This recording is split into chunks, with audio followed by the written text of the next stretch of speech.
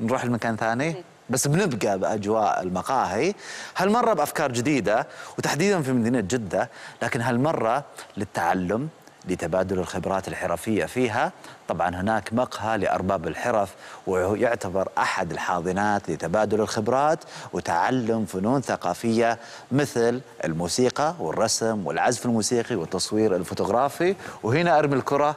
في ملعبك. أكيد. وبعدين طبعا خلونا نزور هذا المقهى ونتعرف عليه أكثر وعلى فكرته الفريدة اللي طبعا أعدت في هذا التقرير. التالي نتابع.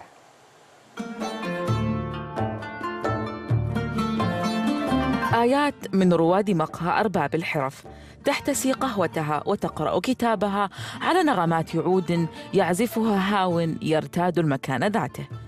ففنجان القهوة هنا يختلف عن أي مكان آخر. يعني مو بس بتاخدي قهوة وخلاص إن أنت بتاخدي قهوة وفي نفس الوقت بت بتزيدي نوع من أنواع الثقافة عندك. يعني أحيانا بيكون في ورش عمل فوتوغرافية أو أو مثلا بيتناقشوا في كتاب معين. أسس عبد الله الحضيف هذه الحاضنة الثقافية عام 2017 لدعم الفنانين والحرفيين المحليين.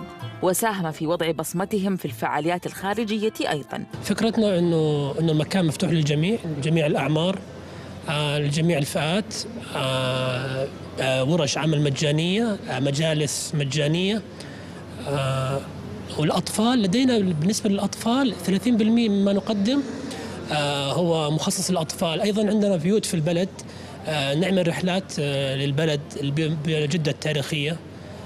لتعريف الناس بالإرث الثقافي السعودي. فعاليات ثقافية مختلفة وجلسات نقاشية يتناول فيها مواضيع مختلفة.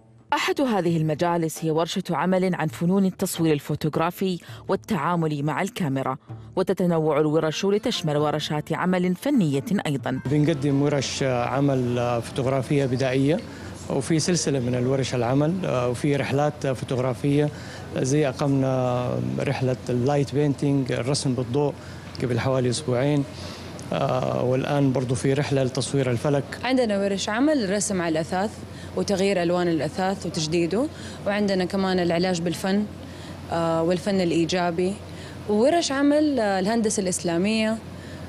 والفنون التشكيلية بشكل عام. تختلط أصوات نغمات الموسيقى أوتار عود تساير صوتا جميلا ومعزوفة بيانو يعلمها أحد الحاضرين لأصدقائه. فأرباب الحرف.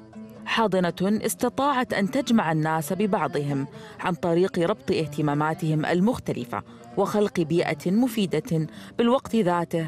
هي بيئة جذابة مرحة. في هذا المقهى كم كبير من الفنون مجتمعة تجعل من رواده في تواجد مستمر.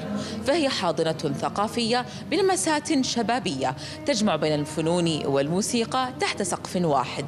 شعل السعد ام بي سي جدة.